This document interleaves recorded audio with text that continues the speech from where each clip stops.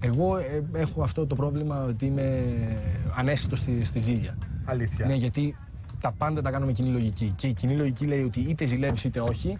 Άμα η άλλη θέλει να σου τον κάνει, θα στο φορέσει, δεν το καταλάβεις ποτέ. Μπορεί η γυναίκα ειδικά. Ναι. είσαι Η τόσο γυναίκα, ψύχρεμος η αυτό. γυναίκα ειδικά, γιατί για τον άντρα υπάρχει μια διαδικασία για να ρίξει κάποιος στο κρεβάτι. Δηλαδή δεν μπορεί να πας να πεις Γεια σου, αγάπη μου, πάμε στο κρεβάτι και πάμε.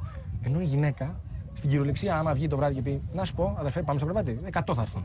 Οπότε αν η γυναίκα θέλει να στη φορέσει, μπορεί να μιλάει στο τηλέφωνο και να κάνεις σεξ και να σου πει Ελά, αγάπη μου, είμαι εδώ με καλά, μια το- το φίλη. μου». κάνουμε και εικόνα, σταμάτα. Ναι, να το κάνω εικόνα. δηλαδή δεν μπορείς, είτε ζηλεύει είτε όχι, δεν μπορείς να αλλάξεις αυτό που είναι να κάνεις.